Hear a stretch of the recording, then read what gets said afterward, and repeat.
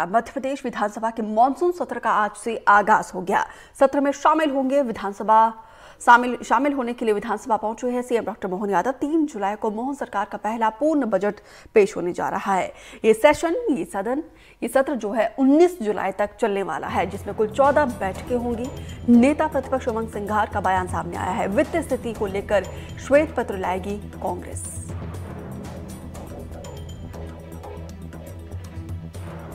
तो इस सत्र में शामिल होने के लिए सूबे के मुखिया बाकायदा विधानसभा पहुँचे हैं और उधर देखिए, कांग्रेस की तरफ़ से भी पूरी तैयारी कर ली गई है। नेता प्रतिपक्ष उमंग सिंघार का कहना है, वित्तीय स्थिति को देखते हुए श्वेत पत्र लाएगी कांग्रेस। तो विपक्ष की अपनी अलग तैयारी है। विपक्ष के पास मुद्दों का भरमार है। किसानों का मुद्दा हो नर्सिंग घोटाले का। बेरोजगारी, वित्त को लेकर ऐसे तमाम ज्वलंत मुद्दे हैं जिसको लेकर विपक्ष हमलावर रहेगा।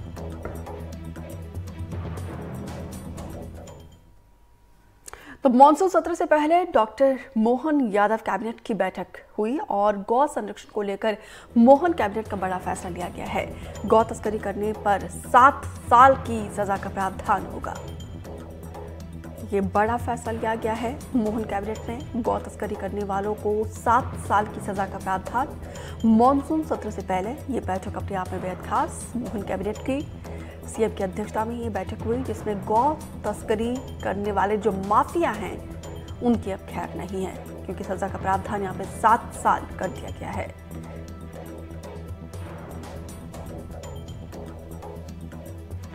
तो मानसून सत्र से पहले मोहन कैबिनेट की बैठक हुई है। गौ संरक्षण को लेकर मोहन कैबिनेट का ये बड़ा फैसला, क्योंकि ये भी एक ज्वलंत मुद्दा है। अमृतांशी जोशी से अपडेट लेते हैं। अमृतांशी, कैबिनेट में क्या बड़े फैसले लिए गए हैं? बिल्कुल देखिए कैबिनेट में बड़े फैसले हुए हैं लेकिन पहले आपको तस्वीरें दिखा देते हैं कि यहाँ पर सदन में जो है वो लगातार हंगामा देखने को मिल रहा है। आ, जो तमाम विपक्षी दल के विधायक हैं वो नर्सिंग घोटाले का एप्रिन पहनकर पहुँचे हुए हैं यहाँ पर विधानसभा में।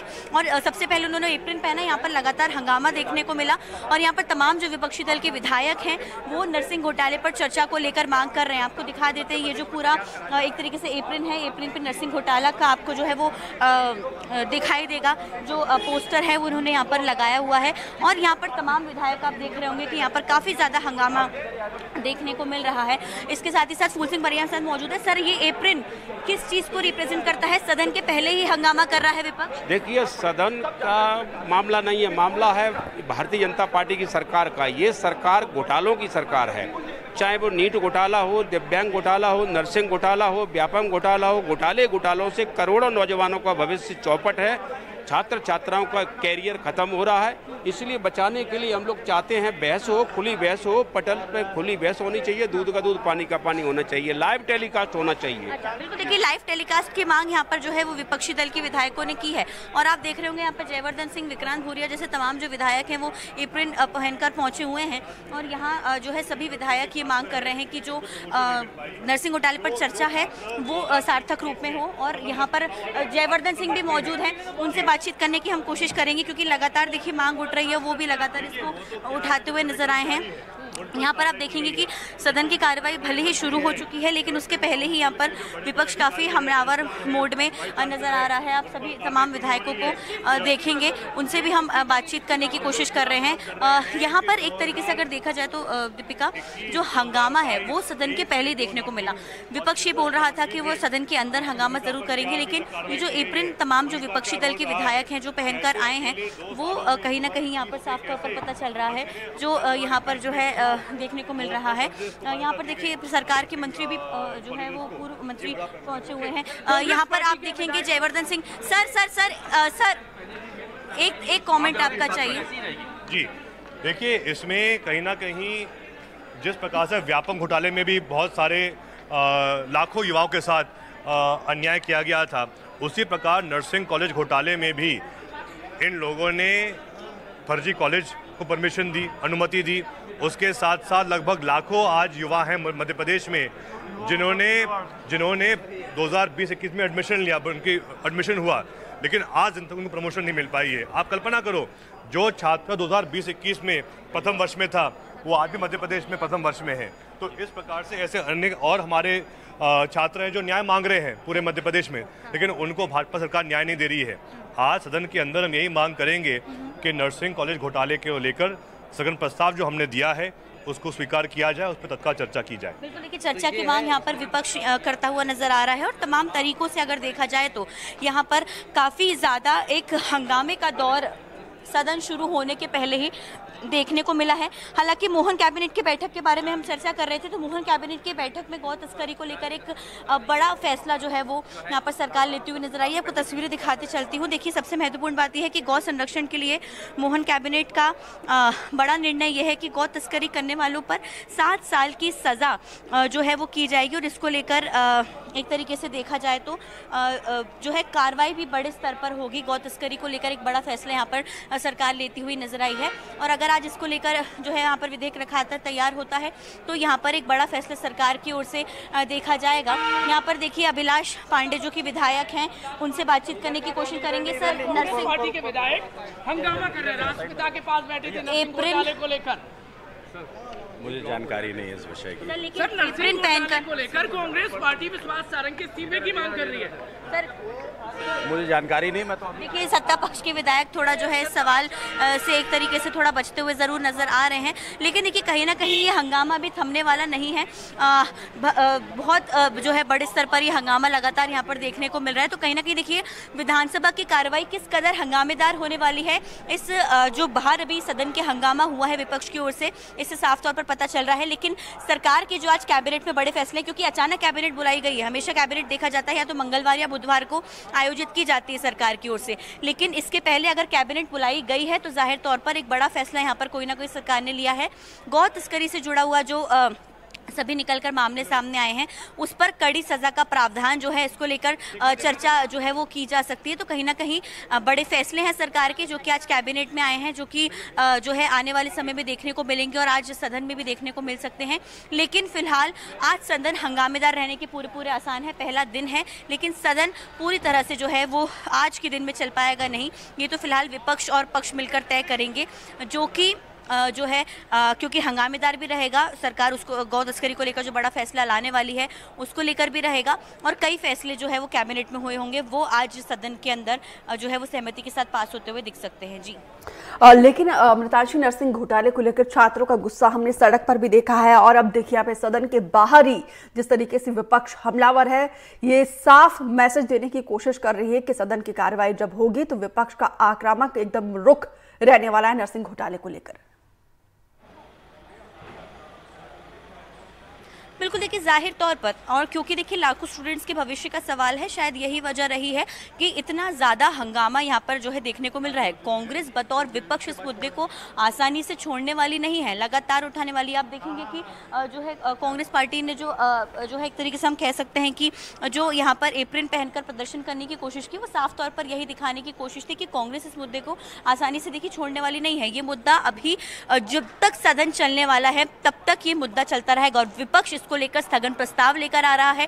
स्थगन प्रस्ताव आएगा, विपक्ष चाहता है कि इस पर चर्चा हो, क्योंकि आरोप प्रत्यारोप का दौर जो है वो लगातार सदन के अंदर देखने को मिलता है। लेकिन विपक्ष इस पर जो है वो चर्चा की मांग कर रहा है और चर्चा जो है अगर होती है तो ज़ाहिर तौर पर हंगामा भी काफ़ी ज़्यादा देखने को मिलेगा, क्योंकि सदन का आज पहला दिन है। सदन शुरू होने से पहले ही विपक्ष यहाँ पर जो है वो काफ़ी हंगामेदार जो है वो मोड में नज़र आया है तो कहीं ना कहीं नर्सिंग घोटाले का जो मुद्दा है, चाहे वो सड़कों पर हो सदन के बाहर हो, चाहे वो सदन के अंदर हो, सभी जगह गूंजता हुआ नज़र आने वाला है और विपक्ष इस पूरे मुद्दे को अच्छे से बुनाने की कोशिश कर रही है। लगातार सरकार से सवाल कर रही है। सरकार के तमाम मंत्री और जो नेता हैं, वो दावा भले ही कर रहे हो कि वो विपक्ष के जो है इस हंगामे से कहीं से कहीं तक कोई डरने वाले नहीं है, उनके पास हर चीज़ का जवाब है। और इसी बीच नरेंद्र शिवाजी पटेल, जो कि स्वास्थ्य राज्य मंत्री हैं, उन्होंने एक बड़ा आरोप लगाया है कि इस पूरे घोटाले में तत्कालीन सरकार यानी कि कांग्रेस सरकार की मंत्री विजय लक्ष्मी साधो के ऊपर गंभीर आरोप नज़र आए हैं जिसकी वो जाँच करवाने वाले हैं। उस जाँच के ज़रिए क्या कुछ उनकी संलिप्तता है वो भी जानने वाले हैं। लेकिन अगर इसी तरह से देखिए दोनों ही एक तरीके से हम कह सकते हैं पार्टियों के मंत्रियों के आरोप प्रत्यारोप का दौर इसी तरह जारी रहा। लेकिन ज़ाहिर तौर पर सार्थक चर्चा इसलिए ज़रूरी है क्योंकि स्टूडेंट्स का भविष्य ज़रूरी है और इसी को लेकर जो है यहाँ पर पक्ष और विपक्ष हंगामा भी कर सकते हैं। लेकिन क्या कुछ इसका तोड़ निकलता है ये भी देखना होगा। जी। अब बिल्कुल अमितांश क्योंकि देखिए विपक्ष का एजेंडा तो एकदम साफ़ नज़र आ रहा है जिस इस आक्रामकता के साथ, पूरी तैयारी के साथ एप्रन पर पहनकर यहाँ पे विपक्षी नेता विधायक पहुँच रहे हैं। ऐसे में क्या रुख सत्ता पक्ष का रहेगा? किस तरीके से वो काउंटर करेंगे? क्या उनकी रणनीति और स्ट्रैटेजी है? बिल्कुल, देखिए, सत्ता पक्ष पूरी तरह तैयार है, ऐसा सत्ता पक्ष के मंत्रियों का ही कहना है। और क्योंकि अब सदन की कार्रवाई अंदर शुरू हो चुकी है तो हो सकता है कि सदन शुरू हो। सबसे पहले तो निधन का उल्लेख है, उसके बाद जो है वो सदन की कार्रवाई पूरी तरह शुरू की जाएगी। लेकिन यहाँ पर जो है सरकार के तमाम मंत्रियों का कहना है कि कांग्रेस के पास कोई मुद्दा नहीं है, इसलिए बिना वजह ये वाला मुद्दा वो खड़ा कर रही है। लेकिन सरकार के पास सारे जवाब हैं और यहाँ पर बड़ा आरोप खुद स्वास्थ्य राज्य मंत्री लगा रहे हैं कि कांग्रेस सरकार की जो मंत्री नहीं है विजय लक्ष्मी साधो, जो कि पूर्व में शिक्षा मंत्री नहीं है कांग्रेस सरकार में, उनकी संलिप्तता इस पूरे मामले में पाई गई है। अभी कमलनाथ भी सदन में पहुँचे थे। कमलनाथ ने भी कहा है कि मध्य प्रदेश में लगातार घोटाले हो रहे हैं, जिस कारण जो है वो लगातार जो है प्रदेश घोटाले का प्रदेश बनता जा रहा है, ऐसे कमलनाथ आरोप लगाते हुए नज़र आए। तो कहीं ना कहीं देखिए, विपक्ष के विधायकों की संख्या भले ही कम हो, लेकिन विपक्ष यहाँ पर मजबूती के साथ सारे मुद्दों को रखते हुए नज़र आ रहा है। सरकार के पास ज़्यादा विधायक हैं, जवाब देने के लिए भी तमाम मंत्री हैं। तो सभी मंत्री और विधायकों से सवाल करते हुए इस मुद्दे को लेकर विपक्षी दल के विधायक भी नज़र आने वाले हैं, जी। अमृतांशु कैबिनेट की बैठक में हुई गौ तस्करी के अलावा माफियाओं के खिलाफ यहाँ पे सात साल के अब सजा का प्रावधान दिया है। इसके अलावा क्या बड़े फैसले इस बैठक में लिए गए हैं? बिल्कुल देखिए, कैबिनेट की जो बैठक हुई है, उसकी जानकारी अब से कुछ ही देर बाद मंत्री कैलाश विजयवर्गीय देंगे। लेकिन इसके अलावा ये देखा जा रहा है कि जो बोरवेल में बच्चे गिरने का मामला सामने बार बार आता है कि इसको लेकर कोई कड़ी सज़ा नहीं है। भले ही हो, कागज़ों में हो, लेकिन कोई कड़ा प्रावधान नहीं देखा जाता है, कोई कड़ा, कड़ी सज़ा जिसके घर पर वो बोरवेल होता है या फिर कोई भी घटना होती है, उसके बाद नहीं दी जाती है।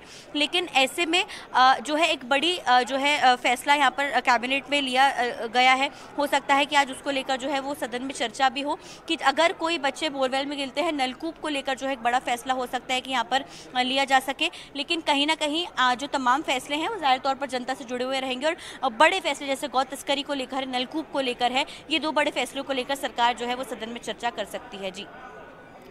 तो बिल्कुल तमाम ऐसे मुद्दे हैं गौ संरक्षण को लेकर और साथ ही बोरवेल का मुद्दा भी एक अहम मुद्दा है। मध्य प्रदेश में पिछली सरकारों की तरफ़ से भी तमाम कोशिशें की गई थी और इस सरकार की तरफ़ से भी ये बड़ा फैसला लिया जा रहा है। तो देखना होगा कि इन फैसलों का किस तरीके से असर सामने आता है। अमृतांशी आप खज, इस खबर पर नज़र बनाए रखिए। फ़िलहाल विस्तार से जानकारी देने के लिए आपका बहुत बहुत शुक्रिया।